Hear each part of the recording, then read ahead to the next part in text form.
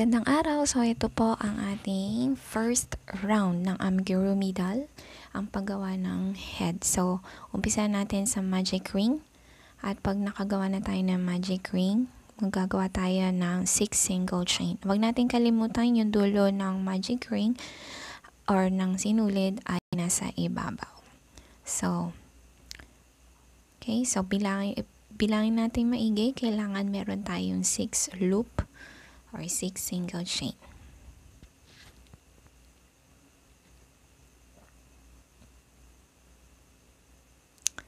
Okay?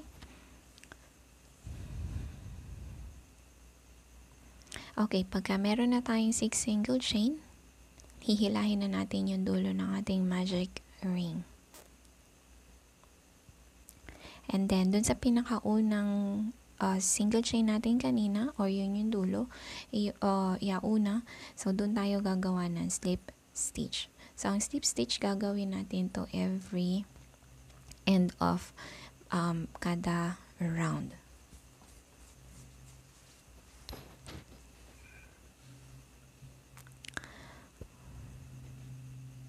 Alright, and then, ayan na yung ating round 1. Moving forward tayo sa round 2. So, ang round 2 natin ay mayroong 12 stitch. So, 6 increase siya, chain 1. After ng chain 1, sa bawat butas ay meron tayong 2 single chain.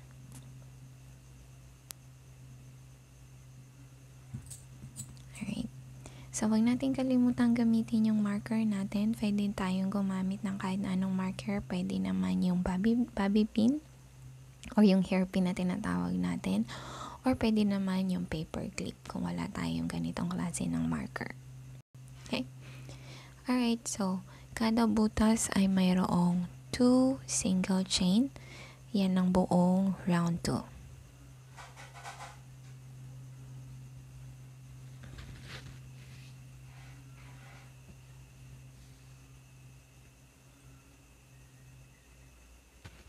Okay, and then at the end ng round 2, yung pinaka pinang, pinanggalingan ng marker natin, doon natin ilulusot yung ating hook. Ayan. Then, ayan yung ating slip stitch. So, kung makikita nyo kung ano yung hinugot natin na sinulid, iyon din yung ilulusot natin doon sa pinakahuling single chain natin. And then, chain 1, moving forward tayo sa round 3. Ang round 3 ay may 18 18 stitches. Okay, so, ang pattern na susundan natin ay 1 single chain, 1 increase. Ang 1 SCR, 1 single chain sa unang butas, and then sa pangalawang butas, dalawang single chain. Kaya nakalagay 1 increase kasi dalawang single chain sa susunod na butas. Susundin lang natin yung pattern na yun paulit-ulit hanggang matapos yung round 3 hanggang sa maging 18 stitches siya lahat.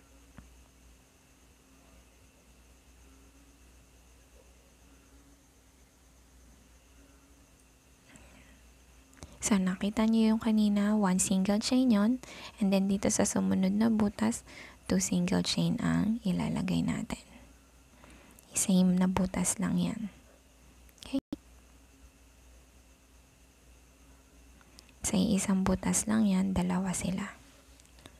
So, pag nakita niyo yung 1 increase or Y-I-N-C, so ibig sabihin, sa isang butas na yon dalawa yung ilalagay natin. Okay, gagawin natin yan hanggang sa end ng round 3.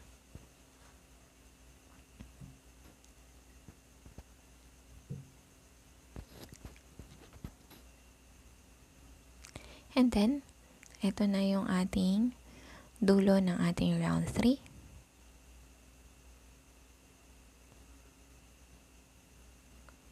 So, magtatapos tayo sa isa sa last chain na to. So, dito sa last chain na to, huwag natin kalimutan, pag tinanggal natin yung marker, kung saan natin tinanggal yung marker, doon tayo mag slip stitch. Okay? So, hugot. Ay, ang hinugot natin na yan, yan din yung ilulusad natin doon. Sa huling stitch. So, moving forward tayo sa round 4, single chain or one chain, sorry. So, one chain and then one single chain. Okay. Huwag natin kalimutan ang ating marker. So, one single chain.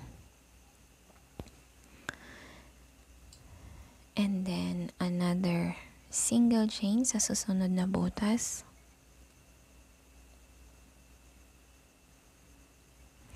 Okay, at sa pangatlong butas, two, in, two single chain. So, one single chain, one single chain. Sa pangatlong butas, two single chain kasi meron, ang pattern natin ay one increase. Okay? So, one, one, and then sa pangatlong butas ay dalawa na. Okay?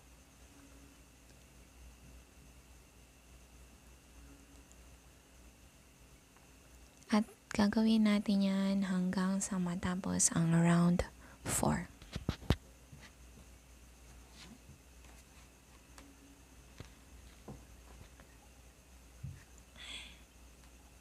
Okay? Ayan, wag natin kalimutan at the end ng round 4 kung saan yung marker doon tayo mag slip stitch. Okay? And then single, uh, rather one chain ulit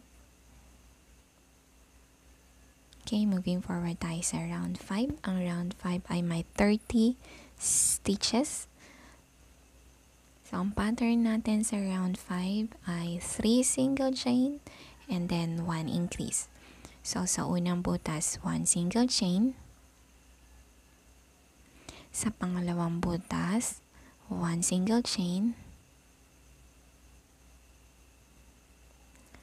Okay. Then, lagyan natin yung marker.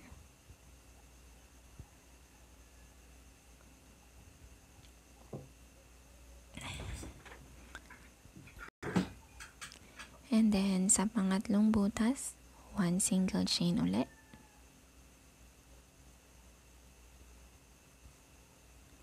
At sa pang-apat na butas, one increase siya. So, ibig sabihin, dalawang single chain ang ilalagay natin sa pang-apat na butas.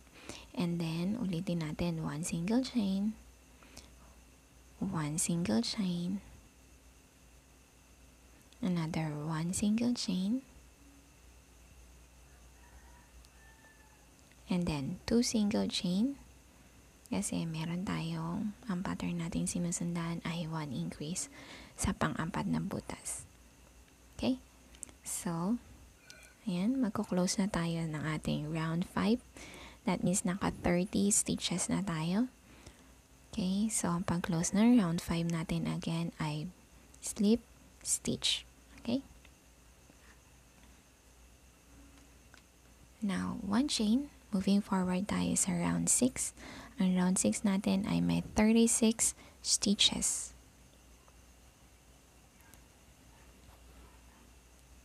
Okay? So, pag medyo nalilito na tayo, pwede naman natin bilangin yan kung nakailang round na tayo. Okay? So, round 6, meron tayong 36 stitches dito. After ng one chain, one single chain,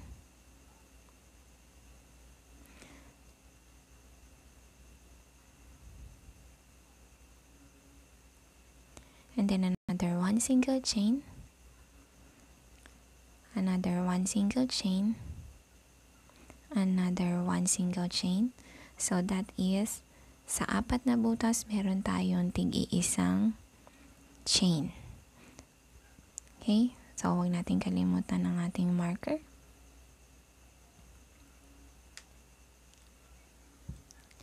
And then, sa panglimang butas or panglimang loop, two single chain.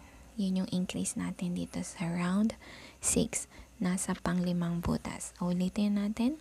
So, four single chain and then one increase. So, ibig sabihin, sa unang apat na butas, tigitig isang chain, single chain, pang panglimang butas, dalawa. Yan ang ating round 6. So, total of 36 stitches. So, mag-slip stitch tayo para ma-close na natin ang ating round 6. And then,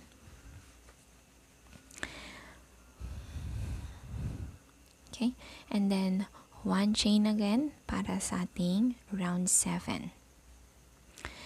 Ang round 7, tuloy-tuloy hanggang round 13, kada butas maglalagay tayo ng 1 single chain. This time, hindi tayo mag increase sa kahit na anong loop. So, tigitig isang single chain lang kada butas. Okay, wag pa rin natin kakalimutang maglagay ng marker para alam natin kung saan tayo nag-umpisa at kung saan tayo mag-close ng round na yon. Okay?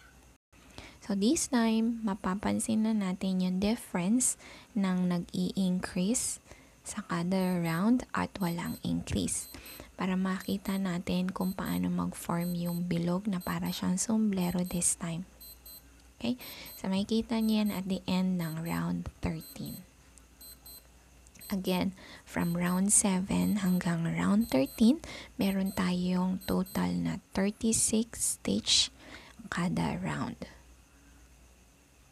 And syempre, every end of every round, magtata mag-end tayo ng isang slip stitch and every beginning ng round ay one chain.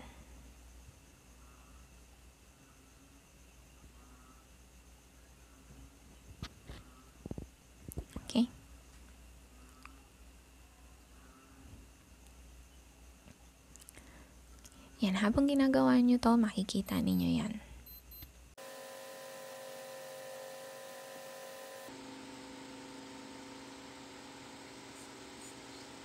Alright, so eto na tayo. Nandito na tayo sa round 13. Okay, so makita na ninyo yung difference. So nakita ninyo nag-form na siyang parang sombrero. So ito na yung kalahati ng ulo na gagawin natin. Okay, so ayan. So, ang susunod natin dito ay kung paano natin siya paliliitin para magmukha na siyang uh, bilog. Okay? So, moving forward tayo. After ng round 13, syempre round 14 na tayo. So, sa round 14, ang round 14 dahil magdi-decrease na tayo this time, meron siyang 24 stitches. So, from round 13 na 36 stitches, bababa siya ng 24 kasi paliliitin na natin siya. So, one chain, and then, one single chain, and then yung kasunod ng one single chain ay invisible, or yung invisible decrease. So, yung unang-unang loop, or rather yung sa una at pangalawang loop, yung nasa unahan niya na sinulid, yun lang yung kukunin natin. Okay? Siyempre, wag pa rin natin kakalimutan yung marker natin dun sa ating unang-unang chain. Okay, ulitin ko sa inyo kung paano makuha yung, o kung paano gawin yung invisible chain. So, one single chain. Okay, so, plus ng one single chain, kukunin lang natin yung nasa may labas na sinulid or yung pinaka, nando dun sa pinaka-loop niya yung nasa labas lang. Hindi hindi siya dalawa kasi 'di ba pag naglusot tayo sa kada butas, dalawang sinulid yung nakakain. So this time, yung nasa may unahan lang niya.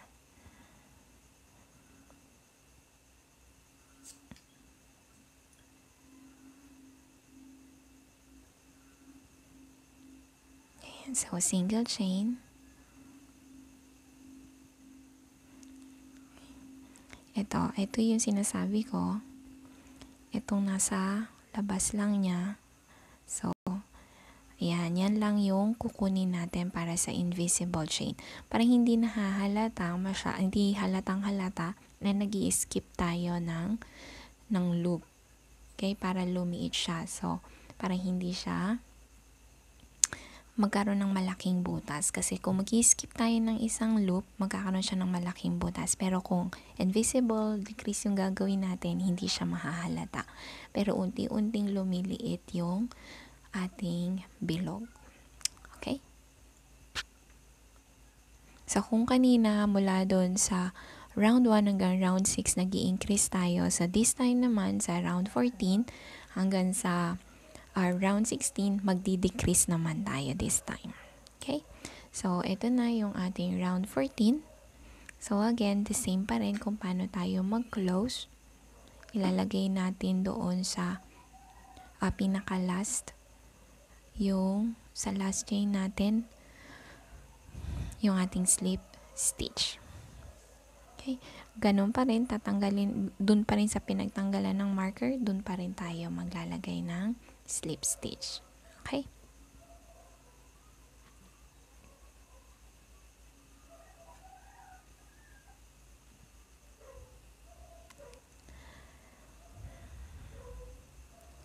Ayan. So, the same pa rin, pagka nag-start na tayo ng susunod na round, chain 1 pa din. Okay? Then, after ng chain 1, so, this time naman, dito tayo sa round 15. So, 12, 12 stitches naman dito. So, from 24 kanina sa round 14, sa round 15, 12 naman 12, 12 naman. So, kung mapapansin niyo kalahati kagad yung ibinaba niya or yung dinikrease niya. So, So, kada uh, loop niya, okay, so yung front loop lang yung ating kukunin. Ayan. So, two, dalawang front loop yung ating kinukuha. So, ayan, ulitin ko. So, one, two, and then, okay. Ayan, so, i-close na natin. So, yun na yung ating one decrease. Ang total niyan ay 12 stitches. Okay. So, ulitin ko. So, 1, 2, front loop lang ulit yung kinukuha natin. And then, i-close natin. Okay. So, pag kumpleto na natin yung 12 decrease, okay, pwede na natin siyang, so magiging ganyan na siya kaliit, pwede na natin siyang pwede na natin siyang lagyan ng palaman. Okay? So, round 16 natin, magiging 6 na lang siya. So, from round 15 na 12 stitches, okay, magdidecrease siya sa round 16 ng 6 stitches. So, pwede na natin yung lagyan ng palaman or ng ating fiber, fiber field.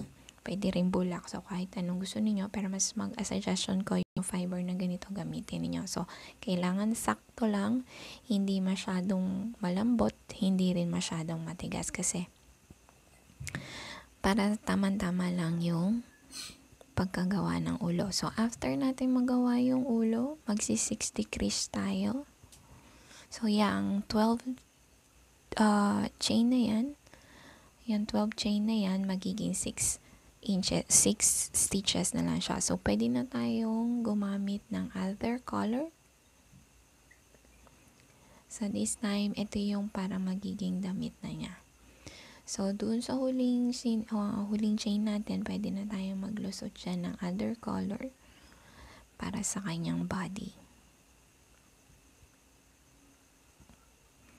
So, this time, after ng round 16 natin, moving forward tayo sa round 17. So, ituturo ko sa inyo kung paano gumawa ng half double crochet. So, itong half double crochet na to, mag-uumpisa tayo sa tatlong chain.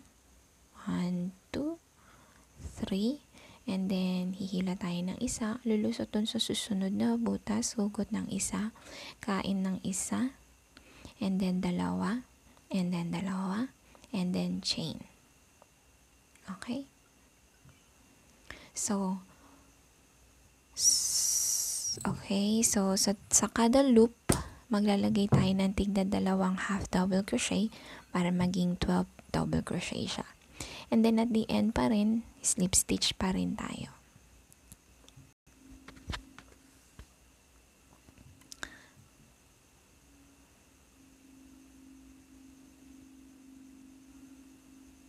Okay, so ayan, half double crochet ulit. So, isa.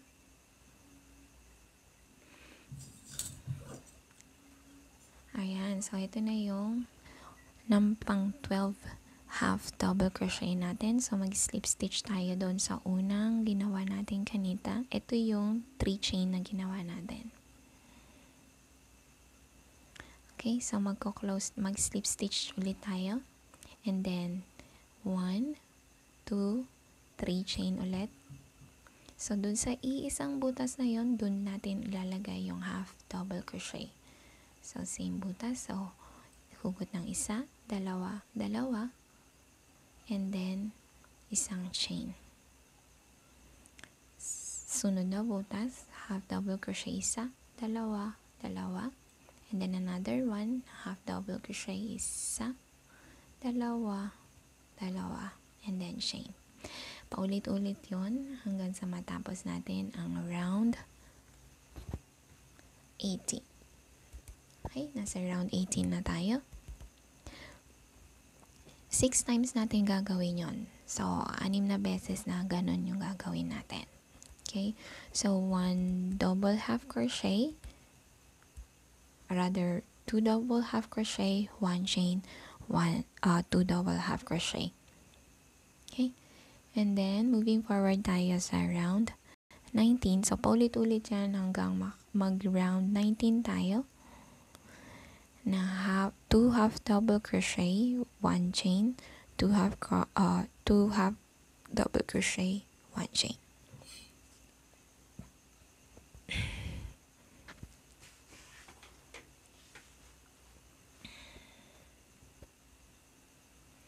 Okay, so the same pa rin every end of every round, mag- mag-slip stitch tayo.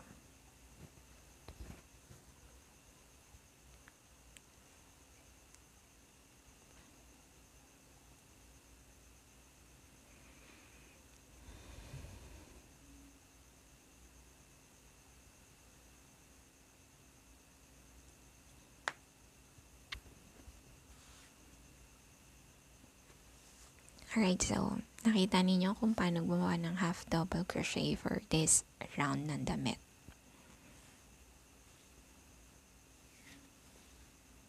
Okay, so susundan lang natin yung pattern na yan hanggang sa mabuo natin yung damit.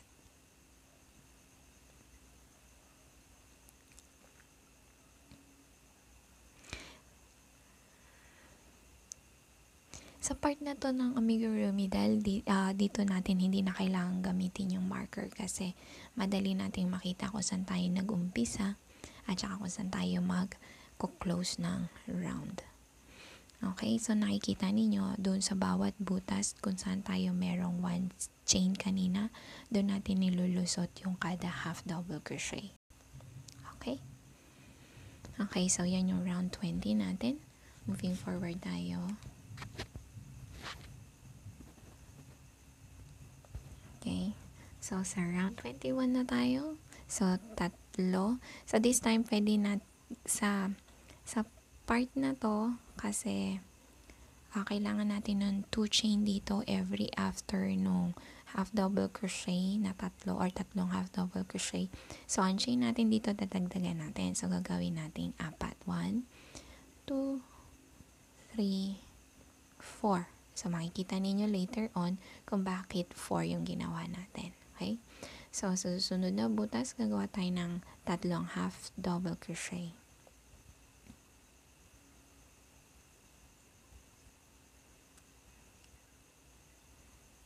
Ayan. So, tatlong half double crochet and then dalawang chain. So, this time, nagdagdag na tayo ng chain. After nung tatlong half double crochet. So, nakita niyo yung difference kanina, 2 double crochet and then 1 chain. So, dito sa chain, uh, sa round 20, first, meron tayong tatlong half double crochet at saka dalawang chain. Kasi nag, this time, nag increase tayo para bumukas yung, or para mas maging bilog, na bilog yung kanyang dress. Alright? So, ito na yung sinasabi ko. At kung natatanda ninyo, apat na, na chain yung ginawa natin kanina. So, dun, kung das, dun sa same na butas na yun, gagawa tayo ng dalawang half double crochet. So, yung chain kanina, siya yung magiging parang pangatlong half double crochet. Tapos, ilulusot natin siya, mag-slip stitch tayo sa pangatlong chain. Okay? So, hindi na siya halata na doon tayo nag-umpisa. Okay? So, 6 times. Eto na tayo. Moving forward tayo sa round 22. So, dito sa round 22, gagawa tayo ng tiga-anim na half double crochet sa bawat butas. Yung bawat butas na yun, yun yung 2 chain na ginawa natin. So, umpisahan natin. So, pwede tayong gumamit ng other color kung gusto natin. But this time, um, gagamitin natin ay same color lang. Okay? Okay, mag-umpisa tayo sa tatlong chain. 3 chain. And then, half double crochet isang hugot, dalawa, tatlo. And then, half double crochet ala isa, dalawa, tatlo. Okay, paulit-ulit lang siyang ganon. Hanggang sa maka-anim na half double crochet tayo. So, this time, okay, para magmukha siyang parang, um, parang lace or, yeah, parang lace siya, hindi tayo mag-chain So, start ka agad tayo ng half double crochet. So, makikita ninyo yung effect niyan. Kung ano yung pagkakaiba niya. Kapag natapos na natin tong 20 second round. O yung round 22 natin. Okay.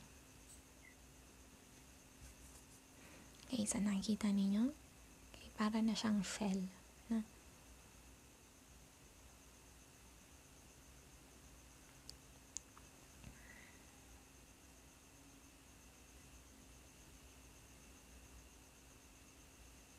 Ayan.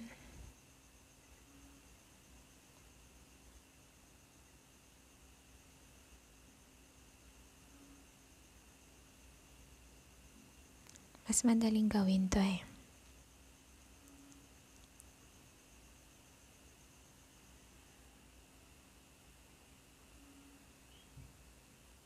Nandito na tayo. Ito na yung last stitches natin para sa round 22 para sa damit ng ating amigurumi doll. Okay? O, diba? Ang cute-cute niya. Kaya ito yung unang-una kong gustong ituro sa inyo kasi nung first time ko siyang gawin, natuwa talaga ako ng husto dun sa kinalabasan niya. Okay? Ayan. So, meron na tayong tapos na yung ulo at saka yung dress ng ating amigurumi doll. Okay? So, ito yung ating tatapusin na amigurumi doll. Itong pinakikita ko example sa inyo kanina. So, yung, yung ginawa ko kanina, yung kulay blue, that is for you lang, pa, that is for you para mag-guide ko kayo kung paano umpisahin yung ulo at saka kung paano gawin yung damit niya. So, this time, ang gagawin naman natin ay kung paano gumawa ng kanyang legs at saka ng arms. So, unahin natin yung legs. Okay. So, umpisa ulit tayo. Kagaya nung pag-start natin sa ulo, mag-umpisa tayo sa magic ring. Don't forget yung dulo ng magic ring natin ay nasa ibabaw palagi. Okay? And then, 6 single chain para sa round 1 ng legs. Okay? Yan sinasabi ko, nasa ibabaw yung dulo ng magic ring.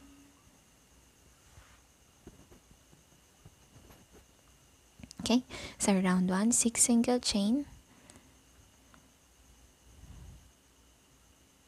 1,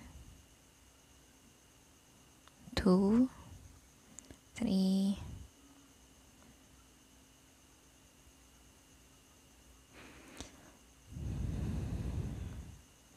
Ayan, 6. So, bilangin natin, baka nagkakamali tayo. So, pag 6 single chain na siya, hihilahin na natin yung dulo ng ating magic ring. Okay. And then, mag-slip stitch tayo dun sa unang loop.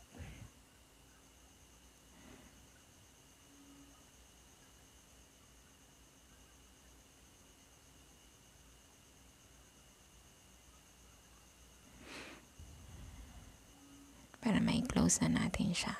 Okay? And then chain 1, moving forward tayo sa round 2.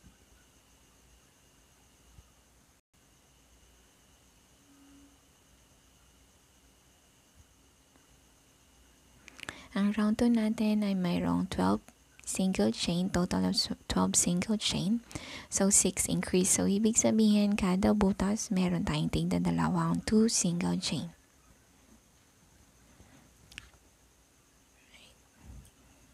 Okay, so kahit na maliit lang to, wag nating kakalimutang maglagay ng marker para hindi tayo malilito.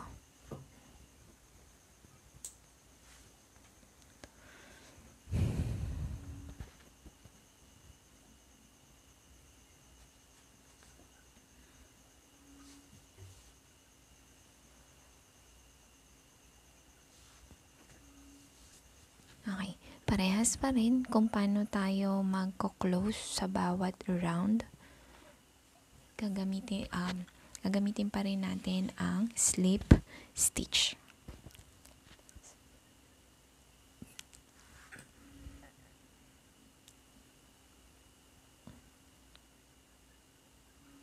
Yan, kung makita ninyo sa bawat loop or bawat butas, tigda dalawang single chain.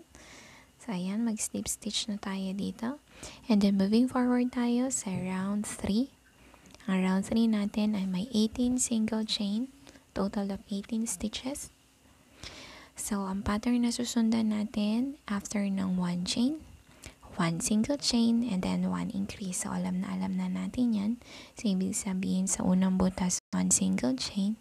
Sa pangalawang butas, 2 single chain.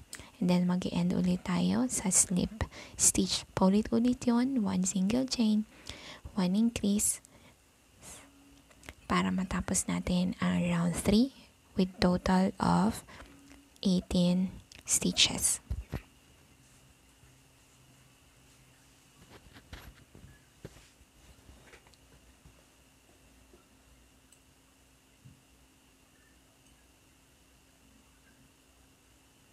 And then, moving forward tayo sa round 4 hanggang round 5.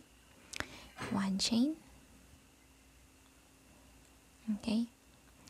And then, total of 18 stitches ulit. So, one single chain sa kada loop. Right? Mula, mula yan sa round 4 hanggang round 5.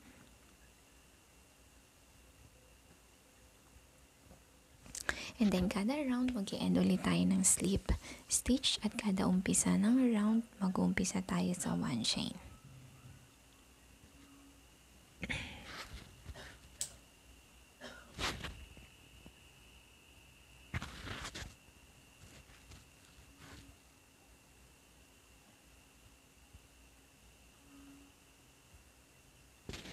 Alright, and then after natin sa round 4 and 5, moving forward tayo sa round 6. Ang round 6 natin ay may 12 single chain. So from 18 single chain ng round 5, magdi-decrease na tayo sa round 6. So ang round 6 natin ay 1 single chain and then 1 decrease. So alam na natin kung paano mag-decrease.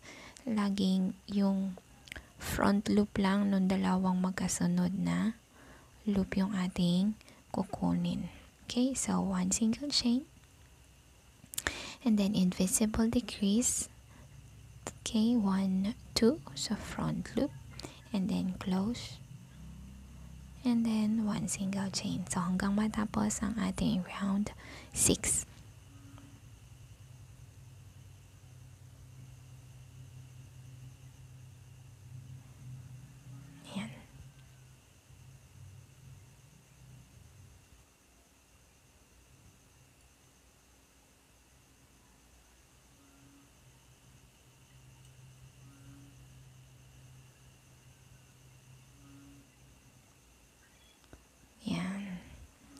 So, eh, close na natin. Mag-slip stitch tayo. Yan yung round 6 natin.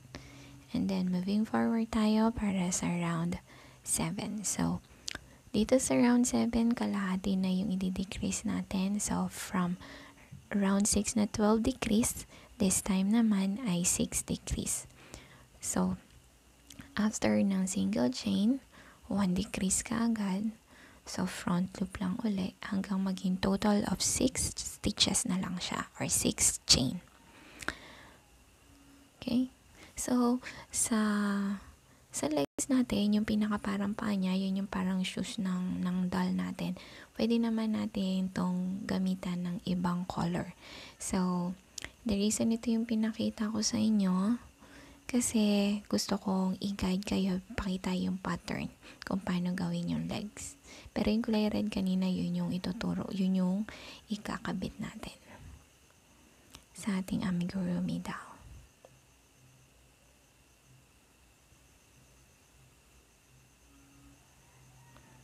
Medyo challenging tong paggawa ng legs at saka ng arms. Kasi paliit na siya ng paliit. So, pero okay lang. Kasi pag natapos ka na, matutuwa ka talaga. So, ayan. So, 6 degrees na siya. Yan ay round 7 natin. So, bago natin i-close yan, after ng round 7, pwede na natin siyang lagyan ng, bula, ng fiber wheel. Okay. So, same thing pa rin sa paglalagay ng fiber. Um, sakto lang, hindi dapat uh, masyadong malambot at hindi rin masyadong marami yung may stuff natin o may lalagay natin. Okay.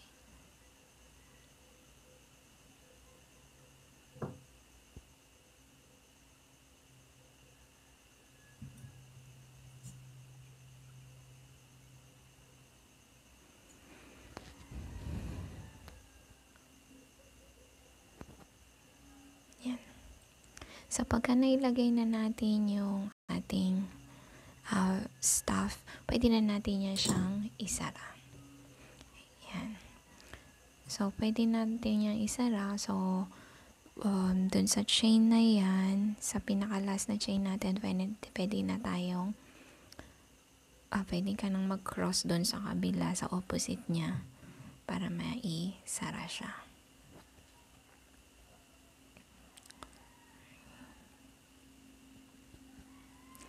So, after natin siyang i-close, okay, after natin siyang i-close, ayan, parang magkakross ka dun sa kabila. So, pagka na-close na natin yan, gagawa tayo ng 18 chains. 18 chains. Ayan. so, ayan. So, pag 18 chains na yan, mag-iwan tayo ng mahabang sinulid kasi yun yung gagamitin natin pang tahi sa kanya para maitatahi or may kakabit natin siya sa body.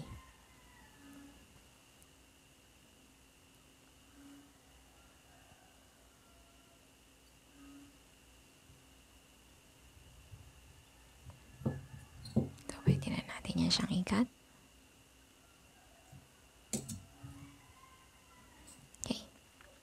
And then, next natin, yung kanyang arms. Okay. So, ito. Kung kanina, yung legs niya ay 6 single chain para sa pinakaunang-unang chain niya. So, pagdating naman sa arms, magbabawas tayo para medyo lumit na yung ating arms. Okay.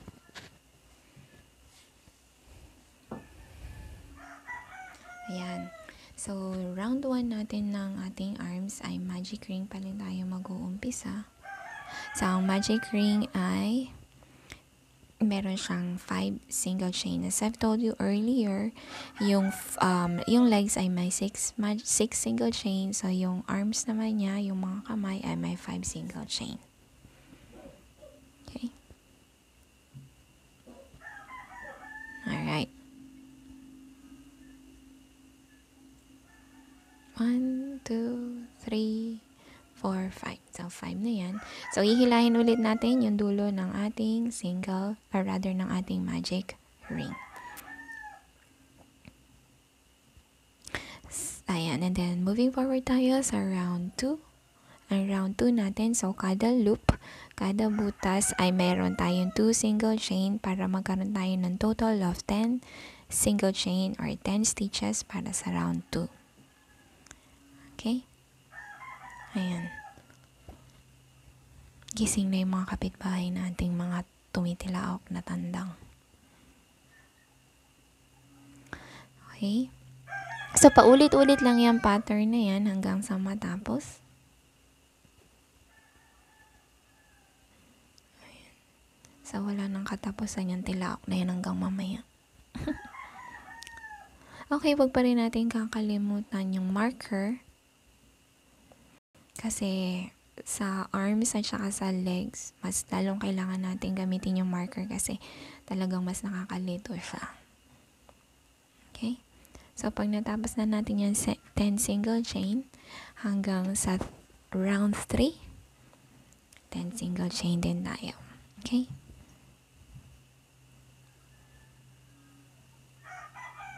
Yan.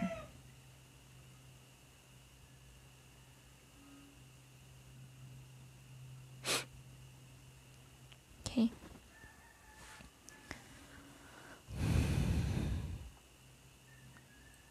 So, ang end pa rin natin, syempre, kada round ay slip stitch pa rin. Kung saan nanggal, so, saan natin tinanggal yung marker, doon pa rin tayo mag lalagay ng slip stitch.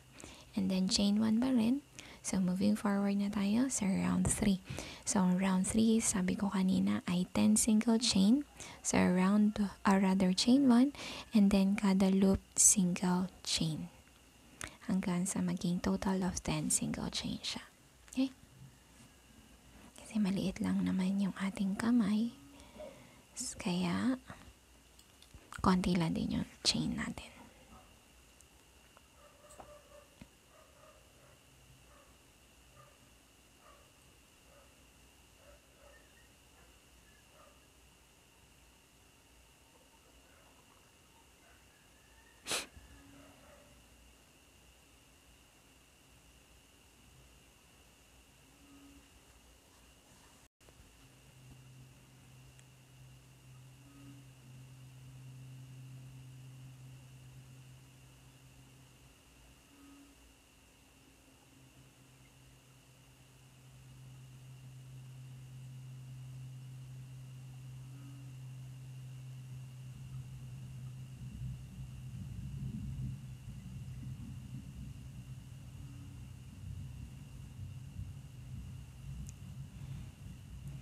Okay, so moving forward tayo sa round 4. So sa round 4, magdi-decrease na tayo. So from round 3 na 10 single chain, ang round 4 naman ay may 5 stitches or 5 single chain. So so round um, round 4, so 1 chain, chain and then and then 5 decrease So, mag invisible decrease ulit tayo niyan. Okay? Hanggang sa making total of 5 chain na lang siya. And then, pag natapos na yan sa round 4, dyan na tayo maglalagay ng fiber. Okay? Talalagyan na natin siya ng palaman. And then, i-close pa rin natin siya ng slip stitch.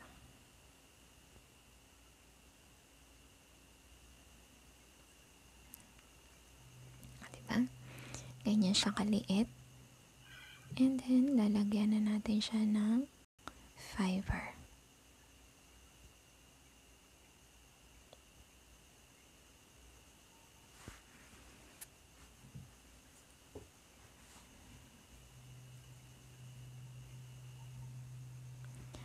Alright. So, pagka nalagay na natin ang So, pag nalagay na natin yung fiber fill natin, uh, pwede na natin siyang i-close. So, after natin yan i-close, maglalagay tayo ng 7 chain. Okay? Parehas lang din siya nung pag-close natin sa legs kanina. So, mag-crossover ka doon, and then single chain, hanggang sa maklose mo yung kamay niya. And then, pag close na siya, 7 chain na. Okay, tapos mag-iwan tayo uli ng mahabang ekstrang sinulit. Okay, kasi yan yung gagamitin nating pantahi dun sa body niya. Okay? So, ayan, tapos na tayo sa paggawa ng kamay at saka ng paa ng ating amigurumi doll. So, ngayon, ang next nating pag-aaralan naman ay ang paggawa ng Okay, so mamaya na natin ikakabit yan pagka kompleto na tayo. Okay? So, ayan. Basta na ito, alam na natin yung pattern ng kamay at saka ng paa. Okay. So, ang next naman natin ay pag-aaralan natin kung paano gumawa ng hair niya. Okay? So, This time, ang gagamitin kong hair, yung ginawa natin kaninang head. Okay? yan yung ilalagay natin dito. So, babawasan ko lang to hanggang dun sa uh, maging 3060 siya which is on which is nasa around uh, 13. Okay, so susundin lang natin yung pattern ng head. Same pattern lang yan. Okay, tapos kasi kailangan natin sundan yung same pattern kasi doon din naman natin siya ilalagay. So, mula, mula doon sa round 14 hanggang, or rather hanggang dun sa round 14 lang tayo mag end. And then, gugupit tayo ng cardboard na may sukat na 13 cm. Okay. So, ito yung magiging guide natin para makagawa tayo ng hair o buhok ng ating amigurumi doll.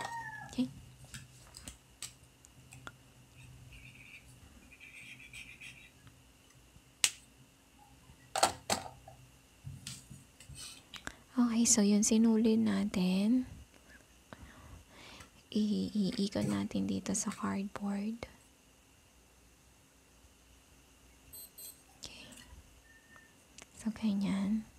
Para makagawa tayo. Para iisa lang yung length ng ating gagamitin na buhok ni amigurumi doll natin.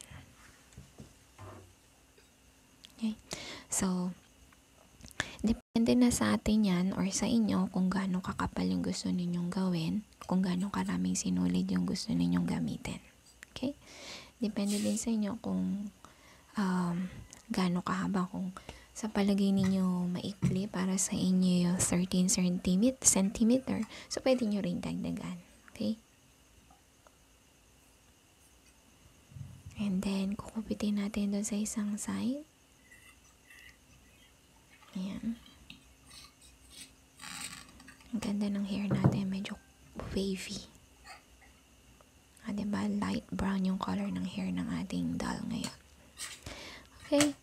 So, it's up to you din kung gusto nyo ding haluan siya ng ibang color. Pwede nyo ding haluan ng ibang color. Okay, so, after natin gumpitin yung buhok niya, so, ibubuhol naman man natin to sa bawat dulo ng ating um, pinaka parang hairline niya. Okay, yan. So, nasa sa inyo din kung gaano ninyo siya, kung, kung paano nyo siya ibubuhol. Okay? So, pwede rin natin kitig isa, bawat butas, dalawa, or tatlo. So, it's up to you na rin yan, okay? So, pero ganito yung pagbuhol niya. Ituturo ko sa inyo. So, hukutin ninyo dun sa pinakagitna nung sinulit. And then, ilulusot nyo dun sa hair o yung pinaka head pattern natin. Okay. So, ilalagay natin yan sa bawat butas hanggang sa mapuno yan. Okay, so kung gano'n nyo kakapal ka, uh, gusto magkaroon o gano'n karami yung buhok na gusto niyo it's up to you. Okay? So, paulit-ulit lang yan hanggang sa matapos. So, medyo, hindi naman tumatagal. Kanya lang mukhang mabusisi lang. Pero hindi naman. Pero, pagka natapos na kayo, nakagawa na kayo ng isa, talagang matutuwa kayo sa gawa ninyo. Ayan. So, hihigpitan nyo lang. Kahilahin lang ng maigi para matibay siya.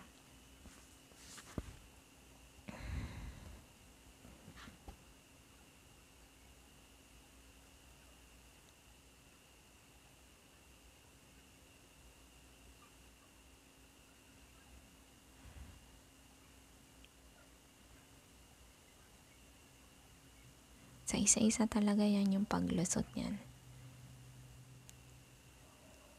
Wala siyang shortcut.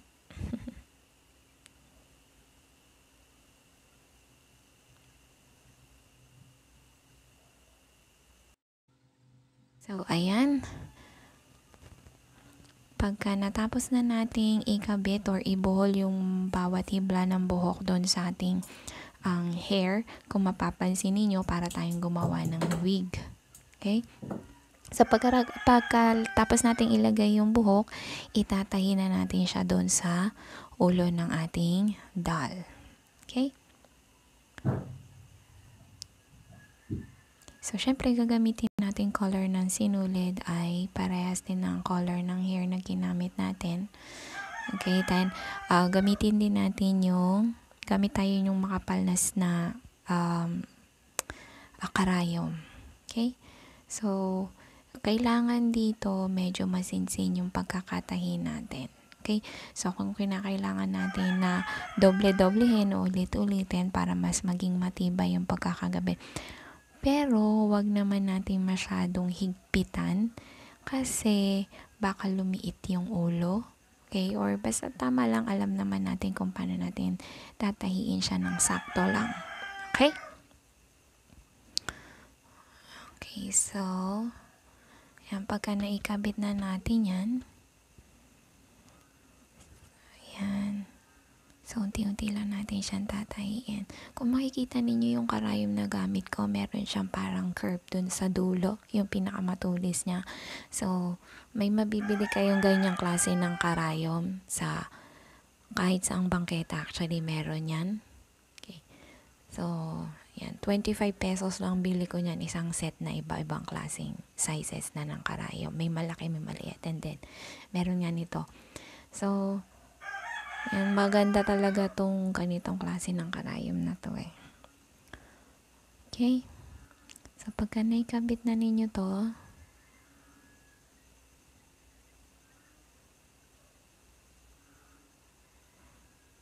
so, so,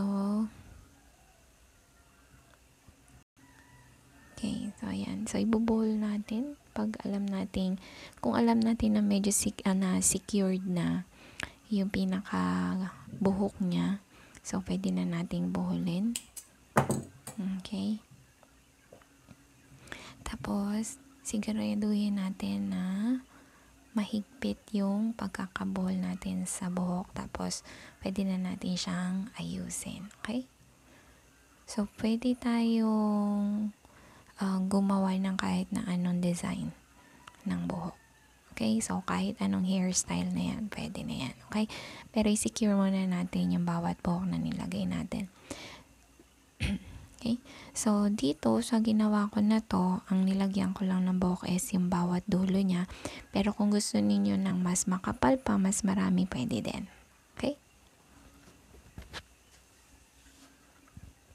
Yan. So, hinihigpitan ko lang yung pagkakalagay ng buhok. So, pwede nating ayusin yan maya-maya. Okay, para ma baka makaisip kayo ng ibang hairstyle. So, sa akin, for the meantime, ipo-ponytail ko muna siya. Okay. And then, pagka na, pwede naman ninyo tong lagyan din ng kahit na anong design. Pwede nyong i-braid yung buhok kung gusto ninyo. Okay. Yan. So, ipo-ponytail ko muna siya kasi marami pa tayong kailangang igabit sa ating doll. Okay? So, yan.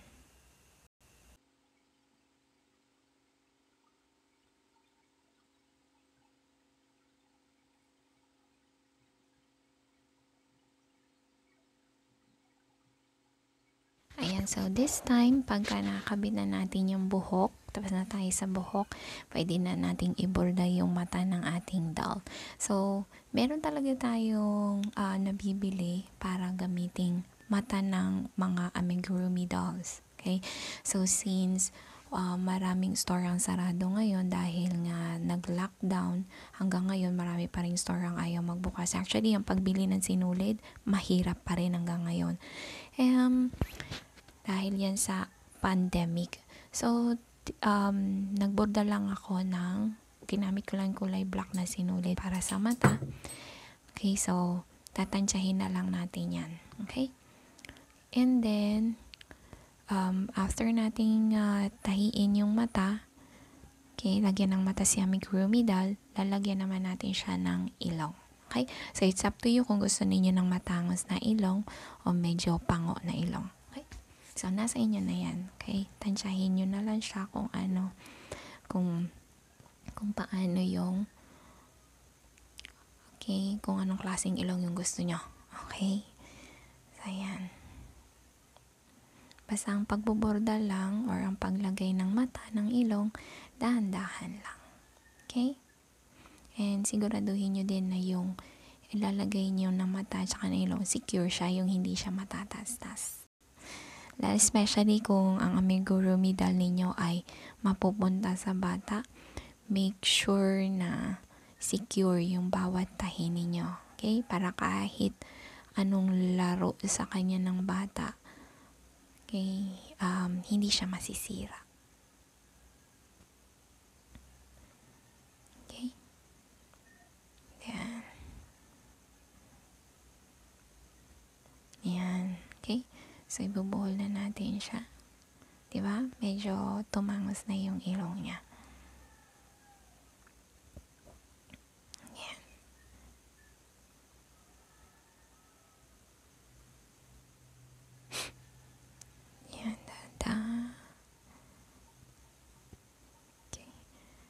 Itong Amigurumi Midal, alam nyo, pwedeng, pwede kayong mag umisip ng iba-ibang design, iba-ibang color, iba iba kung ano yung gusto ninyong combination.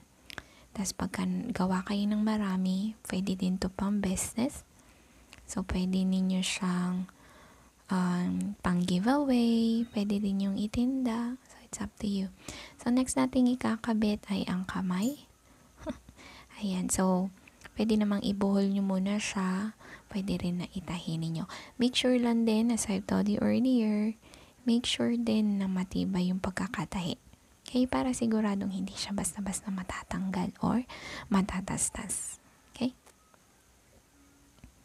Ayan, medyo malapit na talaga tayo sa katotohanan. Mga konti na lang, ayan, makikita na ninyo yung gawa ninyo. So, wag na wag kayong mag skip ng video na to para masundan ninyo step by step ang bawat pattern. Okay, ng bawat part ng dal na to. So, hindi lang ito yung ituturo ko sa inyo. Marami pa akong isi-share sa inyo na natutunan ko. Okay.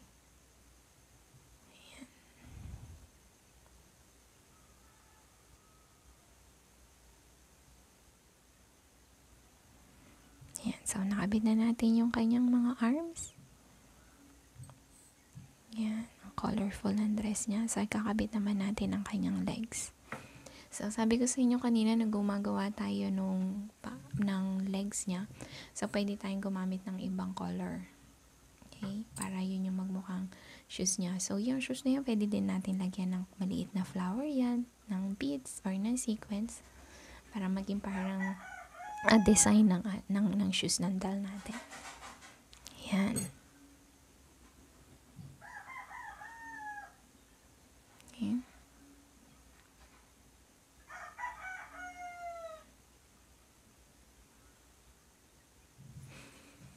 Okay, so itatahi din natin siya doon sa loob ng So, makikita ninyo doon ko siya lagi tinatahi sa may loob ng dress. Okay? Yan. Make sure lang na hindi masyadong nahahalata yung mga tahi, na, tahi natin. Yan.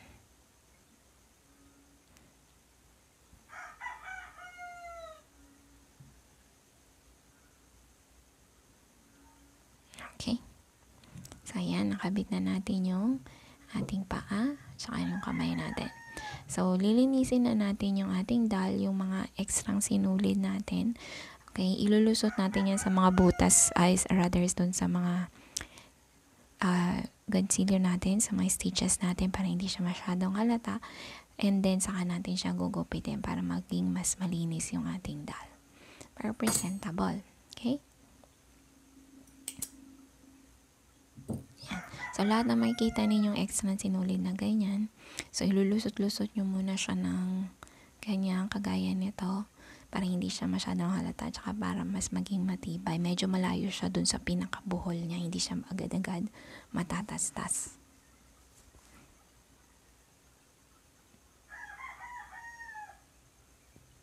Yan.